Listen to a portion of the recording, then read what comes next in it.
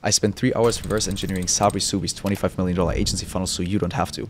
And this is by far the most sophisticated agency client acquisition strategy that I have seen to date. And it's most likely way simpler than you think. And so in this video, I'll show you exactly what ads he runs, how he built his funnel, and how you can copy and paste this strategy into your agency with as little as $50 a day on Meta ads. And of course, if you need a little instant gratification, I have rebuilt the entire funnel inside of Perspective Funnels so you can just copy and paste that into your free account right away with all the different pages, all the different mechanisms and all the different automations.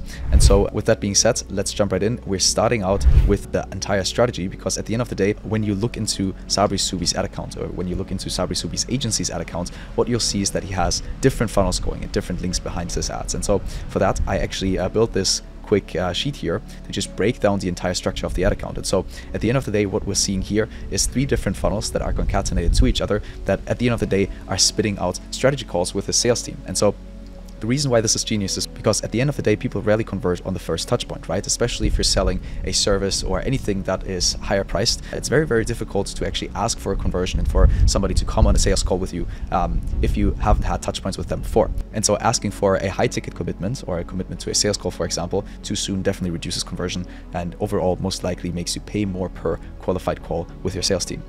Then what we can see if we just take a look at the ad account structure again, or at the structure in general, you can see that he runs lead magnet funnels. So these two appear before even asking for people to come on a sales call.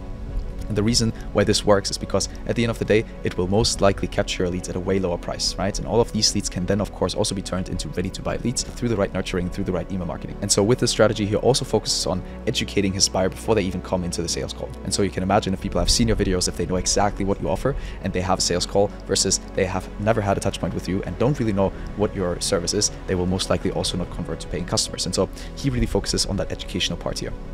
And then what we can see from there on, he actually takes the leads from that funnel and retargets them with the strategy call funnel in this case, where the sole focus is to actually get people on the appointment, right? So we have a multi-step strategy. He's essentially splitting the top of funnel and filling the top of funnel and then filling the sales team's calendar into two different phases. And then I'll break down in the next section how he actually builds up these funnels for maximum conversion. And so I'll first start out with the lead magnet funnels and then I'll show you exactly how you can build that yourself within perspective. At the end of the day, as I already said, right, he's focusing on that first micro commitment, on that first conversion by actually giving giving people something super tangible with his lead magnets. And so in this case, he's actually running two right now.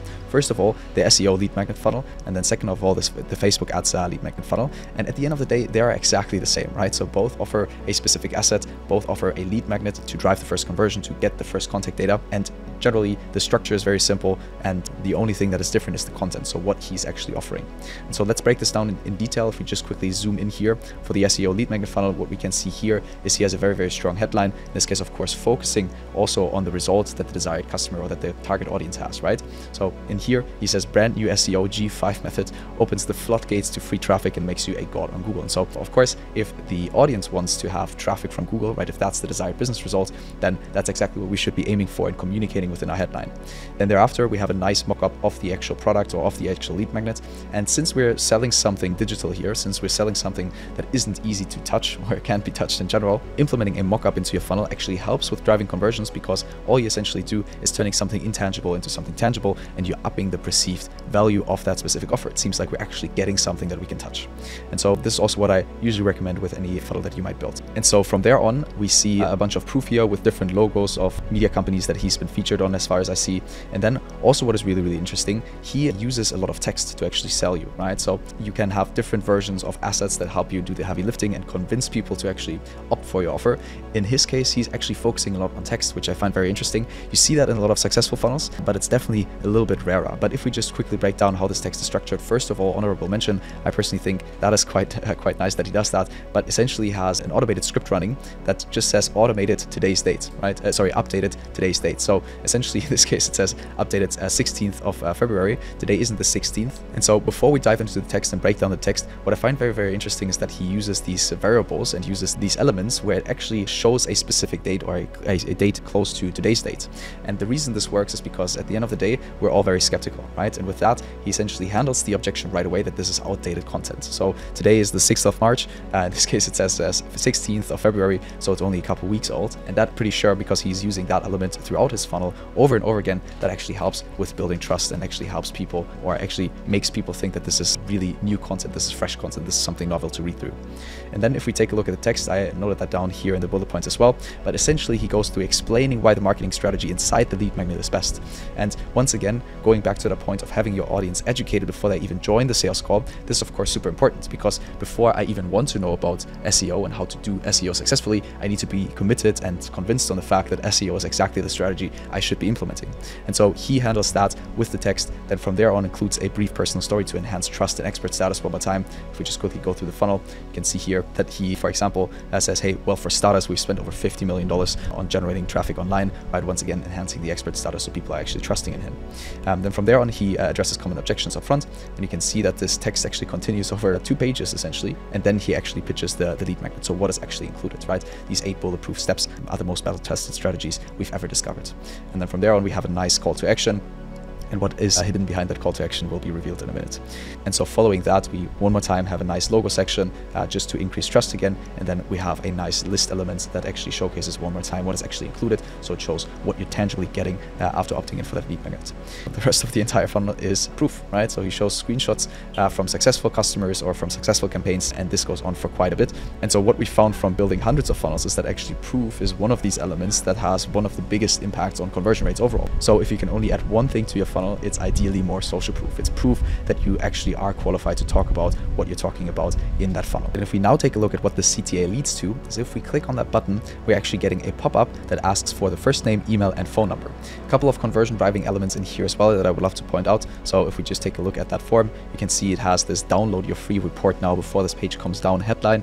And at the end of the day, it's just a clear call to action including a nice urgency element, right? So before this page comes down, just increases the urgency a little bit uh, as to you grabbing that lead magnet and grabbing access, entering your data, uh, because there might be the risk that he's actually taking that down, which I don't think there, uh, it's actually there. But at the end of the day, this is definitely something improving the urgency, increasing the urgency that you're communicating, something that also helps with uh, driving conversions. And also one element that I personally very much appreciate is this loading bar here. So it's roughly at 75%, right? And by indicating that there's only one last step and you actually completed a majority of the journey already to get to your desired result, in this case downloading the lead magnet, you make people more likely to actually opt in. And the reason for that is that we are all subject to the so-called sunk cost bias, right? So once we started something, we're way more uh, likely to complete it. And with that, he's playing to that psychological pattern. Um, and it also makes us think, you know, that the finish line is not too far away. And then one other thing that I would love to point out here, he's asking for first name, email address, and phone number.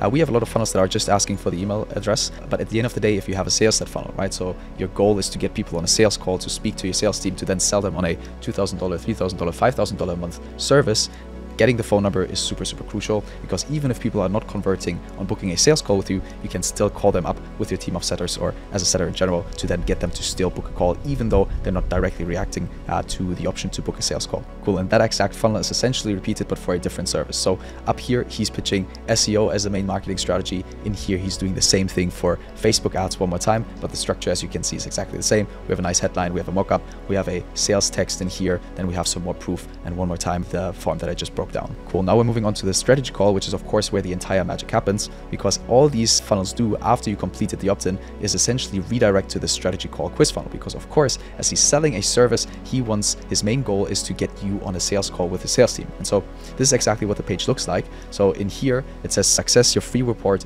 will arrive in 10 minutes. While you wait, watch this. So it's now focusing all your attention on this video sales letter, right? So this main video that now is supposed to do the heavy lifting on selling you on actually working with this agency because now all you did was opt in for something free, a free lead magnet, but now of course he wants to introduce his offer and make sure he's actually getting sales from the traffic he's driving to these lead magnet funnels. And so one more time, we have a very, very strong headline with the business result in focus. Copy and paste this wild new 7.8 billion unicorn funnel with 14 clicks in just 10 minutes to cruise past 100 grand a month. So he's definitely a very, very good copywriter, as you can see. But if we just quickly take a look at this page, a couple of elements that stick out. So as I said, video in the center, the main goal is to get people to watch that video because in that video, it's a 25 minute sales letter uh, where he's basically pitching his agency and pitching you on working with him. Then we have a nice call to action, claim your free 30 minute strategy session, be quick, free spots are almost gone by February. So one more time using this variable that I mentioned before, where he's pulling the current month to essentially induce some urgency. So for people to actually then convert and feel like they could be missing out if they're not acting right now. Then we have some more proof, a couple of faces in here, a couple of reviews, 6,000 reviews, one more time, the logos, and that is essentially all there is to this entire page. There's nothing more. But of course, the personalization doesn't end with him just reusing dates or inducing more urgency by taking the current month, but he also uses data or reuses data that he collects throughout the funnel. For example, in this exit pop-up. In there, it says, hold on there, Niels, not too fast. Basically, just pulls you again into that video sales letter for you to actually then convert on a sales call with the sales team. And I find that very, very interesting because we've seen this across our funnels as well, um, using personalization. So things like reusing the name or things like using the current date actually is proven to help increase conversion rates by almost 100%. So one of our cases, Florian, a long-time customer of ours, he basically just upped his funnel conversion rate by 81%. That's almost double the revenue that you can make just by using personalization. And from there on, when you click on this claim your free 30-minute strategy session, all he does is essentially lead you into this quiz funnel. And the reason why quiz funnels work so well is a couple things. First of all, we have interactivity. So when people actually interact with your funnel, they are more engaged and thus more likely to convert. Then with every question that they're answering, they are giving you micro commitments, right? So with every step, they're investing more into your brand, investing more into your product, investing more into your offer. And uh, then when you're asking them about their contact details, about the payment details, they are proven to actually convert at a way higher chance. And so from there on, as I said, that's the quiz. And here he's asking a bunch of questions, one more time asking for the name, then asking for the email address to then, of course, also ensure that when people are dropping out of the funnel at any point in time, at any question, that they can actually reach back out to you and get you back into that funnel. So he's using a lot of retention strategies here as well. Then we have a bunch of questions about our business or about the business. So in this case, first, what do you sell, right? These questions are then used to actually pre-qualify the leads so that the sales team does not waste time on any lead that might not be qualified.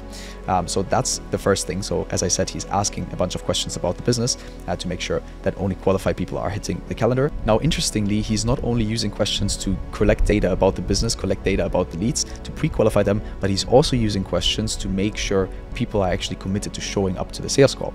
And asking these questions is proven to help with the show up percentage because converting people on the sales call is one piece of the equation. The other is actually getting them to the sales call and then closing them within the sales call. So he's asking these commitment questions, for example, on a scale of 1 to 10, 1 being I'm fine where I am, and 10 being I'll do anything to reach my revenue goals. What number are you? He's asking for the commitment that the lead has, right? So how hot is the lead on actually solving the problem or getting to the desired result?